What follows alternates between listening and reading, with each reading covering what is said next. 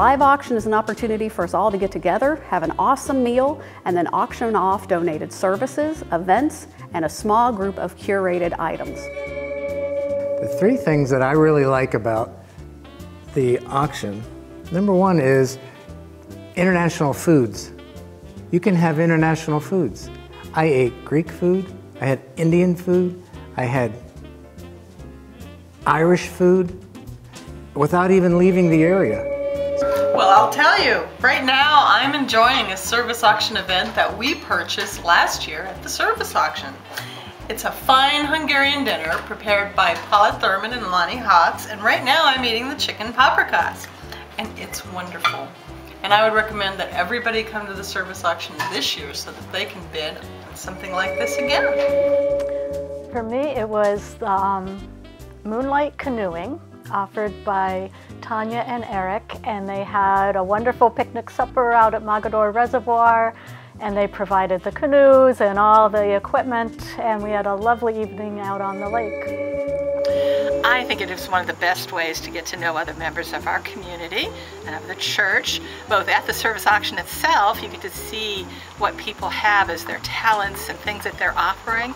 And in the events, especially my favorite things are, are to go to the dinners where you get to meet so many people and uh, get to know them and it helps you get to know people in the church that way. It's a great social activity. And I like being able to bid up uh, the dinners to a reasonable level so that we make a lot of money on them and then uh, and then relax a bit and, and see who can who's gonna who we're gonna have dinner with. well, what I like about the service auction is I really think it's fun to bid on items that you know are kind of surprising. You never really know what's going to show up. In fact, Randy bid on a drum last time and now he's using it for the drum circle. The second thing is, if you think about it, anybody can do anything for the service auction. You don't have to have a special talent.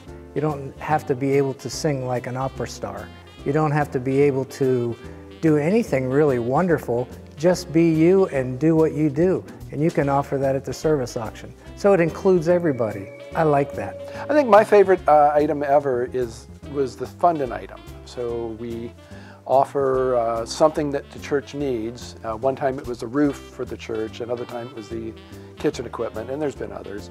Um, and then we see, you know, if we can bid, get enough bids to, to buy those items. Our event raffle is a little bit different. It's an opportunity for folks that might not have the income to attend bigger ticket meals or events.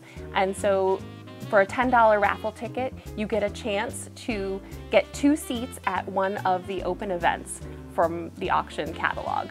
And so that's a great opportunity for you to be able to take part in something that you might not have otherwise been able to afford.